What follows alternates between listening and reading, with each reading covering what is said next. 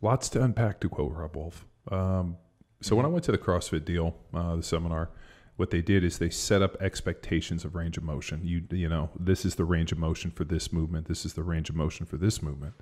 Um, I thought that was awful. I, mean, I think you should discuss range of motion and said, hey, this is what the perfect range of motion should be. But what I did when we taught CrossFit football is I made a distinction. Said, "Hey, everybody knows what the you know proper range of motion. Everybody should be able to squat like this. Everybody should be able to do these movements.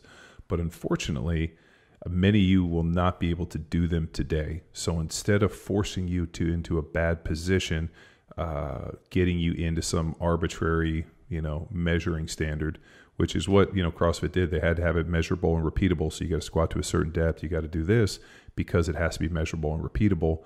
I'm not interested in that. I'm interested in the best range of motion you have on this given day. And from here, we will begin the process of getting you stronger, more stable, and increasing range of motion. A lot of times, um, flexibility wasn't necessarily the issue. It's just people weren't able to be stable and strong in those ranges of motion. As I said many, many years ago, and I've said many times, uh, flexibility without stability is a guaranteed injury. So if you are not stable in these ranges of motion and you can't be you know maintain posture and position, then I don't want to put you into those ranges of motion because then I'm putting you into a situation where now you have a greater chance of injury. I'll just give you a little backstory. Um, years ago, when we were a little Balboa and it was in my house, uh, we traded out with these yogis. So we were going and doing yoga a couple days a week, um, and we invited them to come lift weights with us these people were uh, that had done yoga were super flexible. They could do all these poses. They were really good with isometric contractions, everything. They could not squat anywhere near parallel with any form of weight. So we started with a bar on their back, and uh, the age old looked like a dog shitting a razor blade is where that came from. They rounded their backs. They couldn't squat. They couldn't get up parallel, um, but they were super flexible. And I realized that flexibility wasn't their limiting factor. It was that that active range of motion, their active stability was so poor because they couldn't maintain posture and position and stability in those deeper ranges of motion because they didn't have the strength. So then that started me down this idea that um, if you force people into ranges of motion that they're not strong in, they will be unstable and they will guarantee them injury. So what I would say at the seminar and when we teach people here today is we all know what the standard is.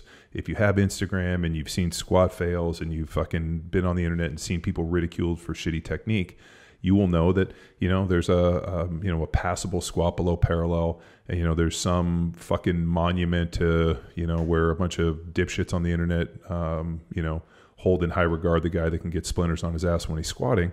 And while it looks cool is it you know a position that you're ever going to see in athletics, not unless you're a fucking catcher. So uh, what is you know what is the you know ideal range of motion? We all know what it looks like. We all know what a good looking squat looks like. We all should be able to videotape or you know uh, take a you know small video of what our squat looks like and have that mental preparation. Now a lot of times when you start forcing yourself into ranges of motion and that you're not comfortable, you're not strong in, you're going to see people do a bunch of shit. They're going to round their back, they're going to dump their knees, they're going to do whatever they can to get into those ranges of motion, and the squat's going to look awful, like a dog shitting a razor blade.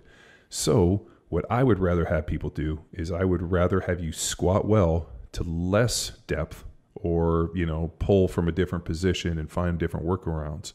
I want you to lift your best lift. And as you get more proficient and stronger and more stable and start training, you can start developing strength to go into those deeper ranges of motion. And I would tell people, in text you heard me say this for years, I don't I need you to squat well. I don't need you to squat as deep as humanly possible based off of some arbitrary fucking, you know, uh, madman's desire. But I need you to lift weights and we're going to stop you and we're going to get you into range of motion where you can demonstrate proficiency. From this, we will give you homework and I need you to fight to get more and more range of motion, but never at the expense of challenging posture and position and technique. So uh, all too often we will, you know, set our bodies on the funeral pyre of of ego and fucking set it ablaze. Um, but you know that became a really uh, issue, and you know where we started this idea of battle the bullshit started there. The other one, and we saw this all too often, is people were stretching way too much. So we get into this deal where people are trying to be 99 level supple leopards. You know, they're fucking stretching 25 times a day. You know, every time you see them stop, they're stretching, they're stretching.